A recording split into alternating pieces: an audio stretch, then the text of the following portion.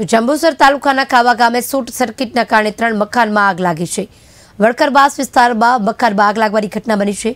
આગની ચપેટમાં એક મકાન બળીને ખાક થયું છે. અંબાલાલ દુલા પરમારનું મકાન સંપૂર્ણપણે ખાક થયું છે. જંબુસર નગરપાલિકાના ફાયર ઘટના સ્થળે પહોંચ્યું હતું. જોત જોતામાં આગે વિકરાળ સ્વરૂપ ધારણ કર્યું હતું.